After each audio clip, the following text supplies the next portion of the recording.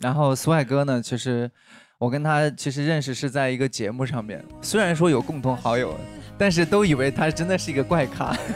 见面了之后发现真的是。但是今天你看三次演出，每一首歌其实都有戳到我。他在舞台上的那种，就是把握，哪怕只是小小的动作，你都能感觉他他用过很多的心，跳过无数个舞蹈，才有这样非常游刃有余的表演。对，飘了飘了。是的，我觉得你以后一定是个人物。嗯，已经是个人物了，棒棒的，棒棒的，棒棒的。嗯，